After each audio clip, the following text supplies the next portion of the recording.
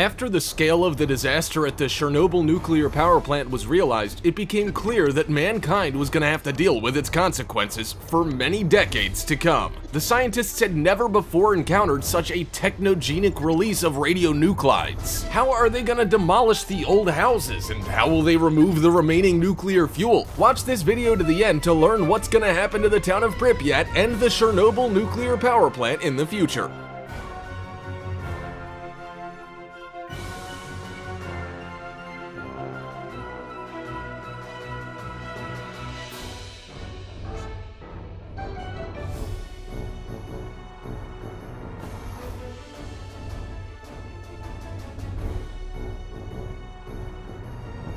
The 1970s were marked by a boom in the nuclear power industry. The atomic energy industry rated among the safest and most promising. It was highly praised and a golden era was predicted for it. But the accident that occurred at the Chernobyl NPP in 1986 demonstrated to the entire world that the gold was not to be messed with. The worldwide euphoria faded away. But nowadays, more than 30 years later, the global interest for the peaceful atom is back. Despite the titanic efforts exerted by different countries countries to implement alternative energy projects, nuclear power plants have been attracting more and more attention from investors as of late. Under the conditions of the present-day development of technologies and the constantly increasing energy consumption, most states just do not have any cheap or efficient competitors for the peaceful atom. But in the context of the nuclear boom resurgence, the Chernobyl zone, like a black hole on the map of Europe, continues to suck money out of Ukraine and the other donor countries, helping it to turn the giant radioactive waste burial site where billions of dollars have been buried into an environmentally safe facility. Decontamination of the territory.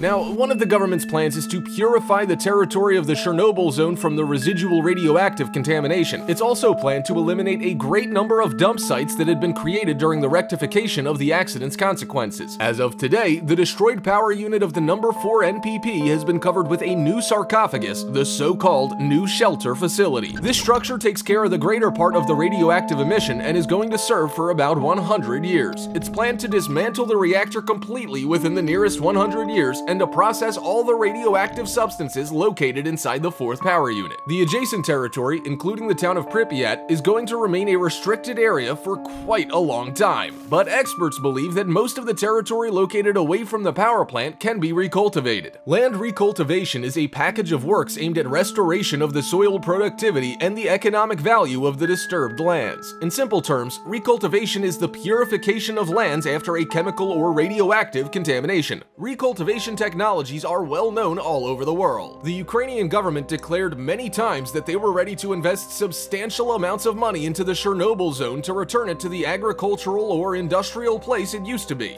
For example, land decontamination was performed in Japan in the vicinity of the Fukushima plant. This is a very complicated and expensive process. To decontaminate one square meter, it is necessary to remove 10 centimeters of soil, which amounts to about 100 kilograms from each square meter. As a result, tons tons of radioactive soil were removed. The Japanese government evaluated the work on decontamination of the lands in the vicinity of Fukushima at $10 billion at that time. Ukraine will hardly be able to commit such considerable financial resources to that. Therefore, it's most probable that the Ukrainian government will raise funds from all the countries that are interested in the decontamination of those lands. But there are many problems behind all those great plans, which we are going to discuss further. Demolition of Pripyat it's a matter of concern for many people what's gonna happen to the town of Pripyat. A few years ago, first deputy head of the National Agency for the Exclusion Zone Management, Dmitry Bobro, stated that the town had to be dismantled. Government officials put forward arguments proving that it's too expensive to keep it as a memorial. For the buildings to stand for so many decades to come, it would be necessary to spend enormous amounts of money on repairs. Now the buildings in Pripyat are exposed to the malice of weather. Water penetrates into the mortar cracks in winter, then it freezes and destroys the concrete foundations. If the buildings begin to collapse, the winds can carry the radioactive dust to the territories where people live and work. For example, a collapsing apartment block will raise a pillar of radioactive dust that can be carried anywhere by the wind. A radioactive cloud can be formed and reach as far as Kiev if there's the north wind and Belarus if the wind moves south. There can be such a concentration of radionuclides that some districts will even have to be evacuated. There was even an idea to knock down the town using pinpoint explosions and to rebury it. But this method cannot be employed to demolish the buildings as there will be about as much radioactive dust raised as in the case of the building collapsing on its own. To prevent such a scenario, experts believe that the best option would be to start dismantling them with the aid of construction machinery. In their opinion, the process would be more controllable and safer than leaving the apartment blocks as they are and waiting for them to begin to collapse for natural reasons. If they start demolishing Pripyat, it will first of all have a negative impact on the tourism that's been picking up steam recently. The exclusion zone of the Chernobyl NPP was ranked the most exotic place for tourism in the world by Forbes in 2009. Even foreigners began to sneak there illegally. They brought specialized tools to climb over the fence surrounding Pripyat and evade the checkpoints in this way, much like the characters of the Stalker game. The premiere broadcast of the Chernobyl series in 2019 promoted the development of tourism in the area once again. The ghost town must be the foremost attraction of the Chernobyl zone now, and if the town is gone, the tourists will be gone too. But it has to be admitted that if Pripyat's not demolished within the next 20 years, the town will fall into ruin all on its own. So if you haven't yet visited it for any reason but are eager to, do travel there while you still have an opportunity to see it all for yourself and to immerse yourself in the era of radioactive apocalypse. The Hazardous Reactor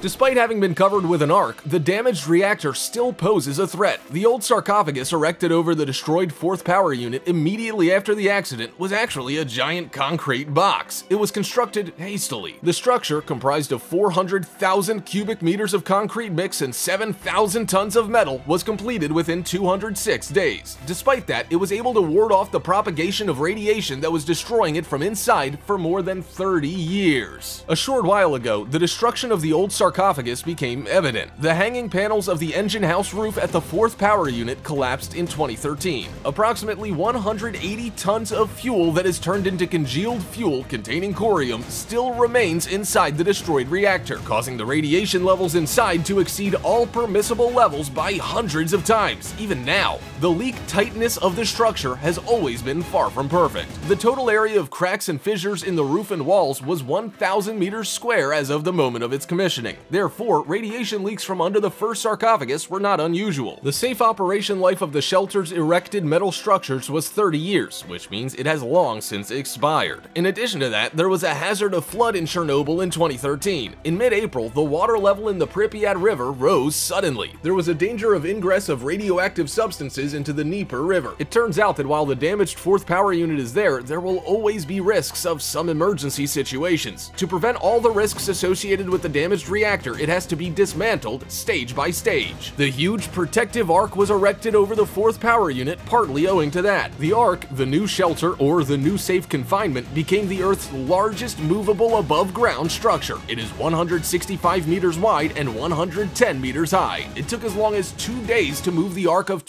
25,000 tons from the construction site to the installation site above the 4th reactor. The new ark has covered the old sarcophagus for at least 100 years. Now the construction workers and the engineers can proceed to dismantling the old shelter. The huge cranes will be operated from a safe room, the fragments of the old shelter will be crushed, decontaminated, and trucked out to a radioactive waste storage site. There are many unstable structures inside which can raise radioactive dust if they collapse, but that's only part of the problem. The main problem is that there are no technologies or innovations as of today that could be used to remove all the contents from inside the 4th power unit. The collapsed structures can be removed in some way, but what about the the fuel containing corium? How can the remaining nuclear fuel itself be removed? People cannot work there. The radiation inside will not decrease almost at all even within 100 years. For instance, the half-life period of Americium-241, a disintegration product of Plutonium-241, is 433 years. Just think of these figures. And the half-life period of Plutonium-239 is as long as 24,110 years. During the rectification of the accident's consequences, robots were used in the most contaminated areas, but the Swedish and Japanese robots did not cope with the task. The batteries failed in such a radioactive field and the electric components simply burned out. In addition to that, the fourth power unit is not a level location. There are very many rooms inside that are locked and filled with debris after the explosion. Besides the great amount of fuel, there's a lot of other waste inside. For instance, about 1,500 tons of graphite. The graphite had initially melted during the accident and now it is already congealed. There are also many pipelines and machines, and they are all radioactive, the same as the old sarcophagus itself. It'll take very many years to decontaminate the territory of the Chernobyl NPP, perhaps as long as 100 years or even more. So it appears that the new protective arc is only the beginning, and nobody knows when it'll all be over. International experts believe that Ukraine must solve the issue of reorganization of the Chernobyl site and of the project financing already now at the global level, otherwise the zone will remain a radioactive burial site for many centuries to come.